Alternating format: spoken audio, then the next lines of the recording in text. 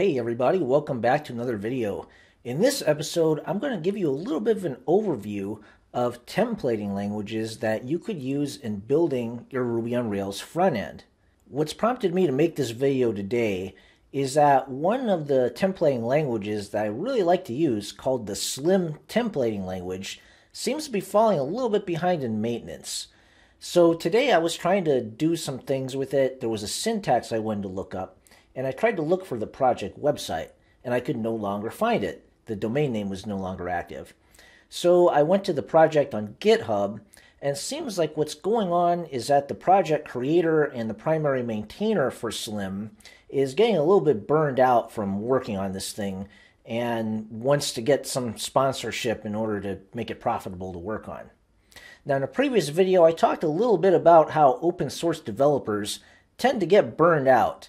And that's because when you're in charge of an open source library, you can have a lot of people writing in for you requesting technical support, and you want to maintain that library out of goodwill, but you're not getting paid for it, and it's really taking your time away from other things that you want to do. So in this video, I want to talk about why that's significant, how you could help, and also give you an overview of some of the options that you have for building your Rails front end. Rails front end templates are what you find in the app slash views folder of your application source code. These templates are what Rails uses to build an HTML file that will be delivered to your website's end user. When you're starting a fresh Rails application, you might notice that the default templating language that it uses is ERB, and those files will have the .erb extension to them. ERB looks kind of like HTML, but it allows you to also inject Ruby code into your HTML. So here on the screen, I have the application.html.erb file, which shows the base template for your HTML files, which includes like the head of the file and the meta tags at the top and the title.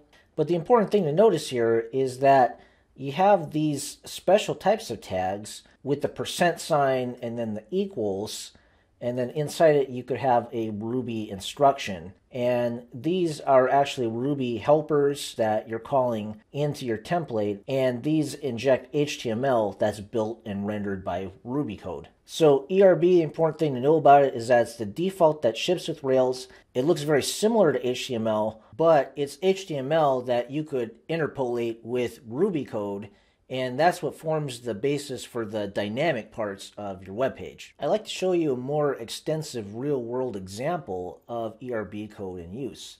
So here I'm looking at the views for the Spina CMS system, and this is on GitHub. It's an open source gem that you could use with Ruby on Rails.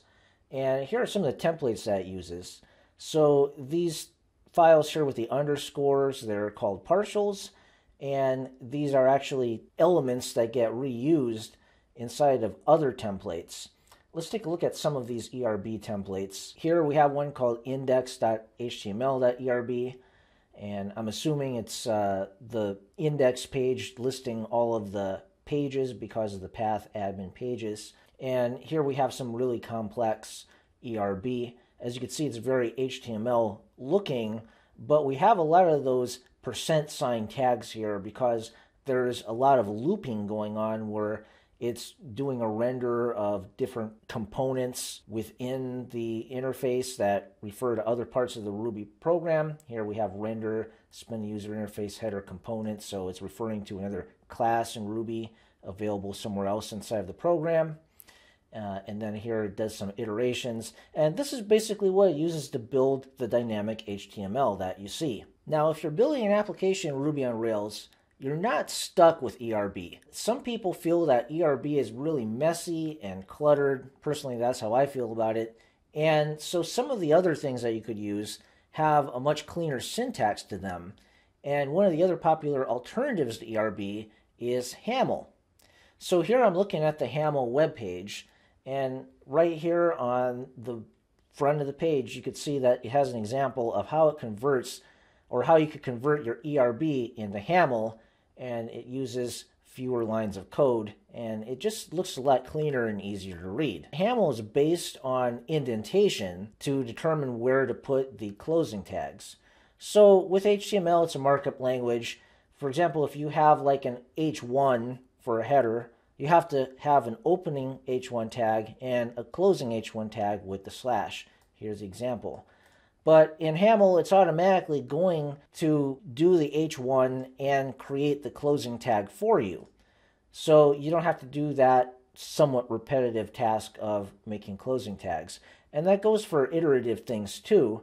As you can see here, based on the indentation, that's how you do kind of a multi-line tag. Here we have a div called content, and all you have to do is put dot and then the class name and then Haml automatically knows it's a div.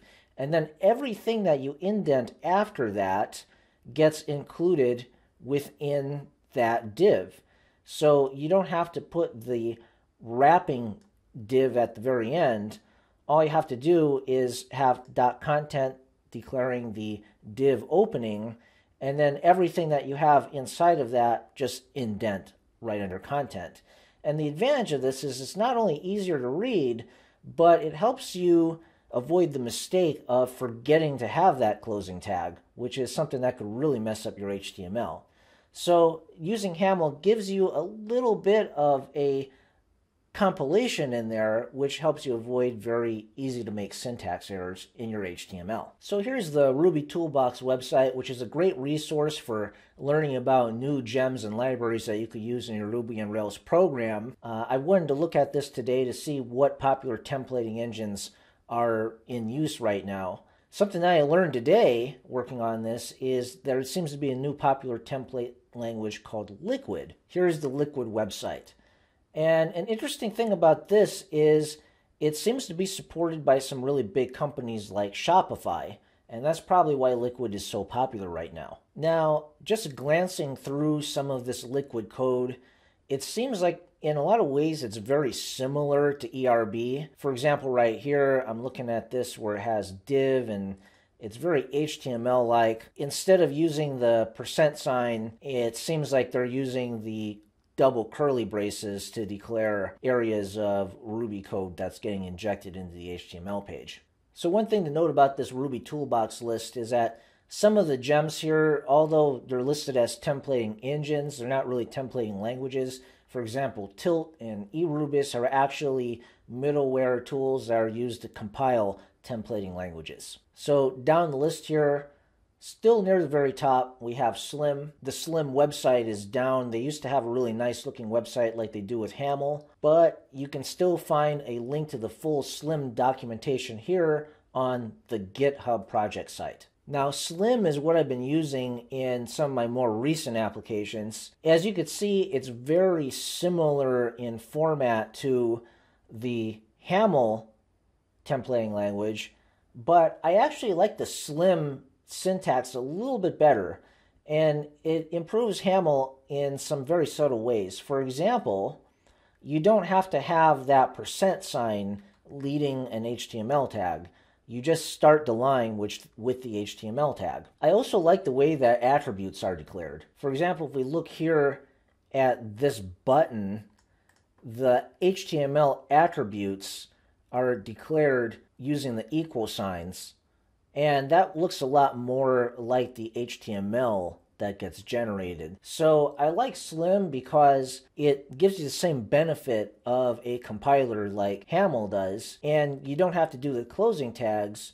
But I think the syntax is a little bit more HTML like, so it just feels a little bit more natural to work with. By the way, these code examples I'm looking at right now with the Slim templates, I actually have those available for you to download and look at yourself if you're a member of my Patreon subscription. So be sure to sign up for my Patreon subscription if you want to look at any of my source code. Send me your GitHub username and I'll add you to the private repository so you could look at this yourself. Now, I'd like to conclude this video by going back to the Slim page. We're on the GitHub issues. As we could see here, the project maintainer opened this sponsoring link and he's only 11% towards the monthly goal that he wants. If you're a big company that's making use of Slim, maybe this is a good time to uh, help sponsor this guy's project so that he could continue maintaining this Ruby gem. And you could probably contribute to the much needed updates to this gem yourself. Contributing to open source is actually a great way to develop a portfolio if you're a new developer and you want to have some tangible things to show. My audience on this channel, many of you are people who are kind of new to Rails, you're interested in it, you want to explore it, or you're not even really sure whether you want to do Rails or not. Contributing to an open source project is probably one way that you could get some experience and comfort working with the Rails language. The nice thing about contributing open source is that your contributions are public. Anybody could look at it on GitHub, and it's a lot more meaningful than you know showing some student work, for example, from a boot coding boot camp. So anyway, that's something to consider. If you found this video useful, don't forget to like and subscribe, and I'll see you in the next video.